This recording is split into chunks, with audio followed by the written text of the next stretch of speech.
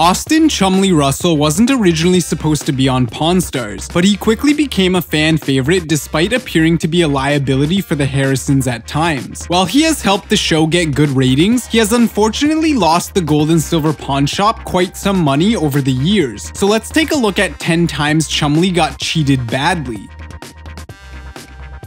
In the last season of Pawn Stars, Chumlee made a pretty unique deal with a customer who brought in an exact cast of a bronze Madonna bust of Michelangelo's Pieta, one of 500 casts licensed by the Vatican. Owner Richard had found out that these busts were selling for a whopping $80,000, and hearing this asking price, Chumlee obviously decided to call in an expert before making an offer himself. Chad Sampson, art director at Icon Fine Arts, valued the bust at around $35,000, saying only the ones that you get directly from the Vatican are worth 80 grand. Based on this opinion, Chum made an offer of 20,000 while Richard tried to get him to go up to 25 grand. The two eventually shocked viewers by agreeing on a trade deal. Instead of taking the $23,000 cash that Chumlee had offered, Richard left the bust in the shop in exchange for around 100 pounds of silver, worth nearly $24,000. Silver's went down so much that we made an extra $3,000. How did you know silver was going to go down? He got lucky. Do I look lucky to you? That's skill. This is pure genius. In one episode of the first season, Chumlee purchased a piece of fake art for $300, which angered the old man who said that Chumlee shouldn't deal in art since he barely knows how to tie his own shoes. You need to lead him by his damn hand. I'll teach him the difference between a real etching and a fake etching. He really doesn't know what art is. I don't think he can spell it. So Rick decided to give him a lesson in how to distinguish a fake etching from a real one, telling him about how the artist uses a copper plate with a layer of wax that he then scratches through with a metal pen before pouring acid over the whole thing, which etches in the copper where there is no wax, hence the name. The artist then takes the wax off and puts ink on the picture that can now be seen on the copper before pressing it into a piece of paper to transfer the picture. This is why Chumlee should have been looking for some marks that the copper plate would have left left, as well as paid attention to the quality of the paper, which should be acid free and not turn yellow like the one that the fake etching was on. More often than not, Chumlee is the one making rather bad deals in the shop, and one of those was made during the last season when he took a pretty unlucky guess on the value of 7 boxes of old comic books. The seller had inherited the collection from her recently deceased grandfather and had originally asked for $2,000 before striking a deal with Chumlee set at 500. After an expert checked the comics out, he came to the conclusion that they would sell for about $200 if the Pawn Stars were lucky. Naturally, Rick was pretty angry about the whole thing. You spent 500 bucks on some comic books. I'll be lucky to get like 180 bucks out of, and seven boxes of the recyclable paper.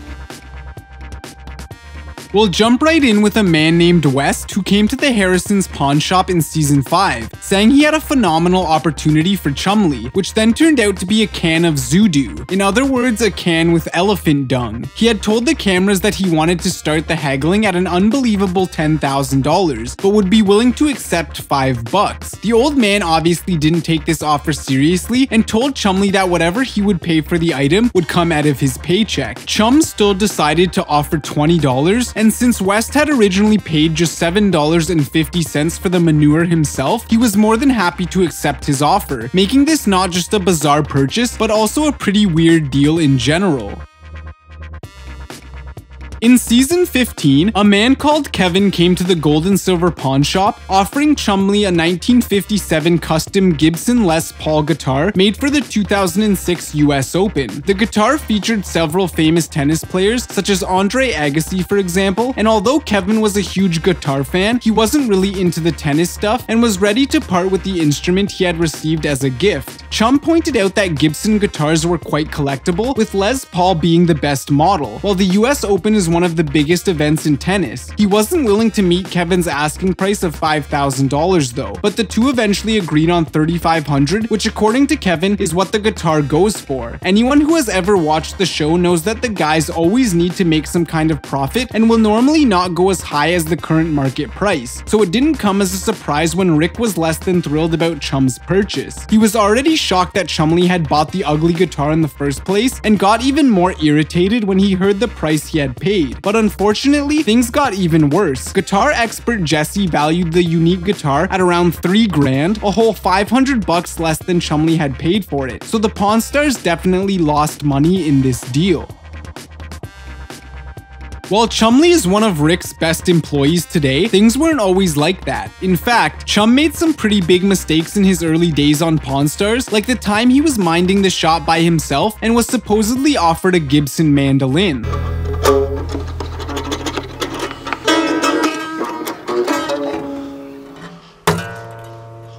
Thank you. Unfortunately, it was one of the thousands of fakes that can be found around the US and was an A model with the Gibson on the headstock in the old script. It did have the decals on the edges, and through one of the F-holes you could even see the stamp of the modern script Gibson logo, but besides that it seemed different. Chumlee still bought the mandolin for $1,500 despite the fact that his purchase limit is only $1,000, which is not unfounded. A friend and music shop owner later estimated the mandolin's worth to be just $100. Being pranked by your best friend is pretty annoying, but even Chum's boss Rick has double-crossed his favorite employee in the past. In season 3, Chumlee decided it was time to get some business cards to build his clientele. But as Rick didn't really want him to be representing the gold and silver pawn shop with his business cards, he told Corey to order some cards without Chumlee's full name. A few days later, they surprised Chumley with the cards, but to his disappointment, Corey had misspelled his name, making Chum his first name and Lee his last last name, before making the guys laugh by revealing that he actually wanted the cards to pick up girls. Yet, he decided to accept being Mr. Lee from now on and started handing out the cards to customers entering the shop. Chumlee has been tricked by customers on more than one occasion, but even his coworker and best friend Corey likes to scam him every once in a while. After Chum saw that there was a lot of money in the jackpot in the episode One Way Ticket of season 8, he thought about getting a lottery ticket. A little later, Corey presented him with a scratch card, which Chumlee eagerly scratched, winning $10,000 and immediately leaving the gold and silver pawn shop to go on vacation. However, Corey then revealed to Rick and the old man that the ticket was fake fake and from a party store, and he then spent the rest of the day trying to reach his buddy to stop him from spending his alleged winnings. At some point, Chumlee texted him that he had just purchased a ticket to the Cayman Islands to avoid paying taxes on the money, and at that point, Big Hoss started to feel really guilty about his prank and came clean. Although Chum sounded pretty shocked on the phone, he later came to the shop and revealed that he hadn't fallen for Corey's lie at all, but simply used the opportunity to take a day off. So, Chumlee may not be the sharpest tool in the shed, but he still isn't fooled that easily.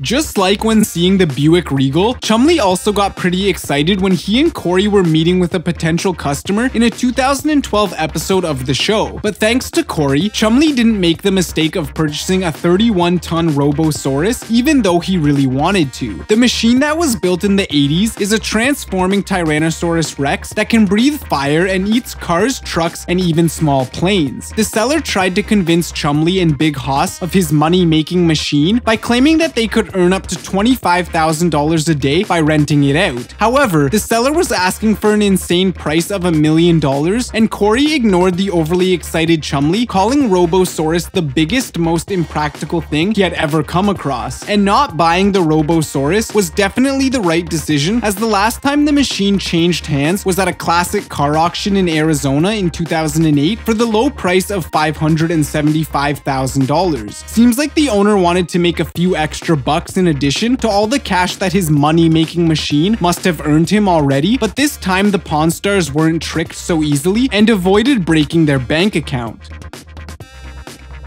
One of the first lessons watching Pawn Stars has taught us about negotiating a deal is to never let your feelings take over if you don't want to be ripped off. But that is exactly what Chumlee did in season 4 when he and Corey met a guy to look at a 1986 Buick Regal. Chumlee immediately fell in love with the car, prompting Corey to remind him that you're supposed to pretend like you don't like it when you're buying it. Big Hoss was not impressed by all the stuff the owner had done to the Buick and wasn't willing to pay more than $1,500, one grand less than the seller Nader was looking to get. While Corey was ready to walk away, Chumlee and Nader agreed on a deal at $2,000, and the Pawn Stars fan favorite then took the Buick to Danny the Count Koker to get some custom work done. The other three Pawn Stars weren't very impressed when Chumlee and Danny presented the car when it was done, as there were no visible changes, until Chumlee got into the car and demonstrated the newly installed hydraulic system that allows the driver to bounce around in the car. While Corey and Rick couldn't stop laughing, the old man simply stated that it was the most stupidest thing I've ever seen in my life. Still, he got into the car to have Chumlee give him a ride home and couldn't do anything about being bounced around himself.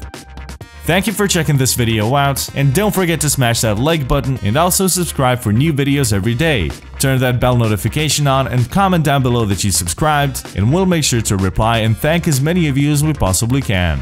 Once again, thank you for watching and see you next time.